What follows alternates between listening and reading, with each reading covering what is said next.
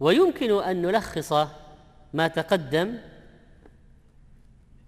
تحديد المشكلة اولا جمع المعلومات ثانيا إيجاد البدائل ثالثا المقارنة بين البدائل رابعا اختيار البديل الأفضل خامسا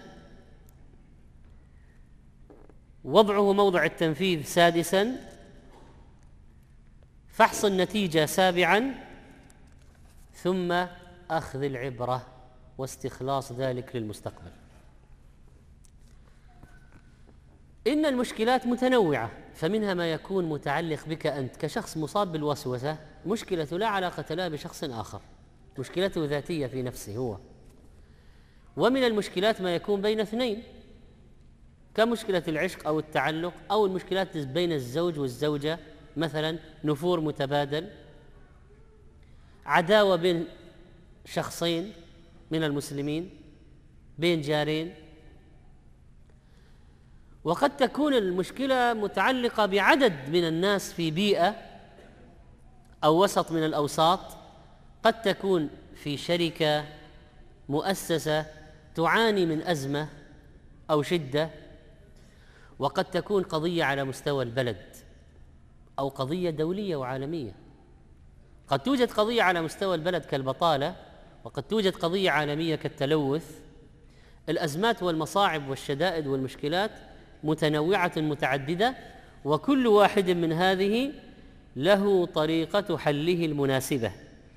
لكن في كثير من الأحيان تحتاج المشكلات الجماعية إلى بروز قائد وشخصية للحل لكي يقود هذه المجموعة إلى الحل.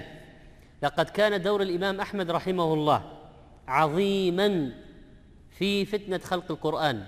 شدة عظيمة مرت على الأمة. مبتدعة تسللوا إلى مركز القرار والقيادة. ولبسوا على الخليفة واستمالوه إلى جانبهم. وحملوه على حمل الناس على البدعة بالقوة. تصدى لها الإمام أحمد رحمه الله كانت أزمة عظيمة واجهت الأمة. والأعظم من هذا موقف الصديق رحمه الله في التعامل مع أزمة المرتدين. لما توفي النبي صلى الله عليه وسلم كفرت العرب. ولم يبقى إلا أهل مكة والمدينة والطائف. نفر قليل وأكثر العرب ارتدوا. إنها أزمة ضخمة جدا. إنها قضية مصيرية. ربما تعيد الناس إلى الجاهلية.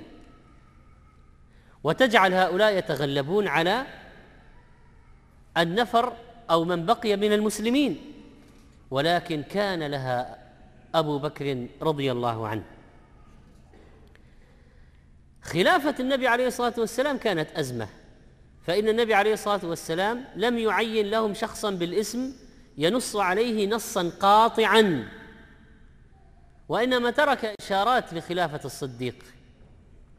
كانت أزمة وكان خلاف قد قام بين المسلمين.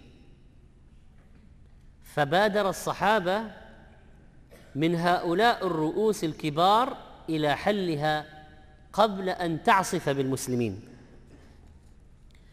إننا نحتاج أيضا بالإضافة إلى دور القائد في حل هذه المشكلات الجماعية النظر الشامل إلى المشكلة فبعضهم ربما ينظر من زاوية أو نظره جزئي فلا يدرك كل المشكلة.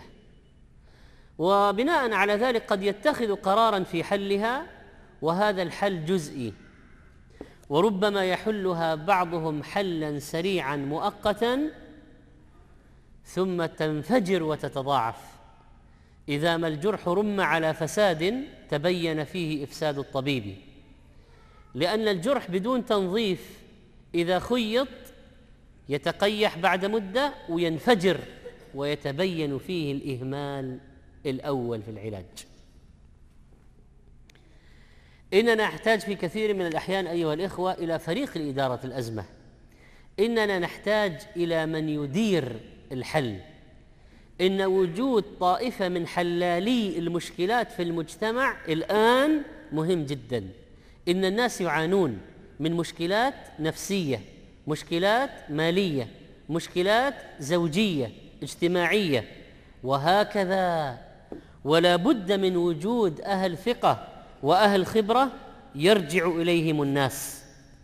لا بد أن نتعلم طريقة الاستقراء والفحص الشامل والعمق في النظر. وكذلك عدم تضخيم المشكلة.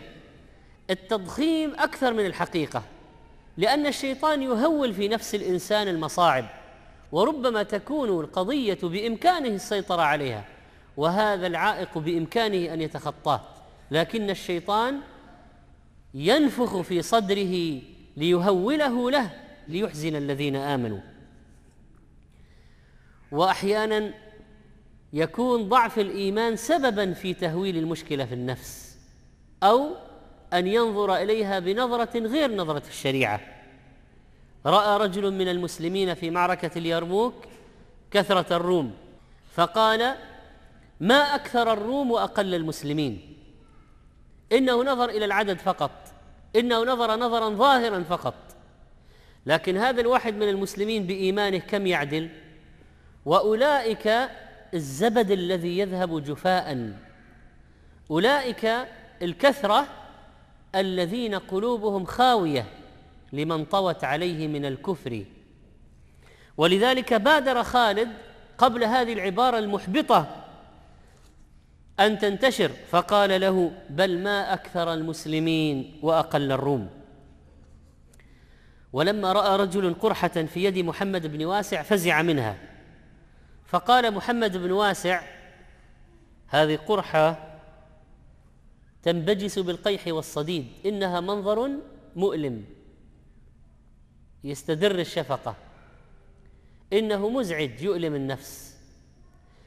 فقال محمد بن واسع الحمد لله أنها ليست في لساني ولا في طرف عيني. فكلما نظرت إلى ما كان يمكن أن تؤول إليه المشكلة لو كانت أصعب أعقد أسوأ حمدت الله على ما أنت فيه.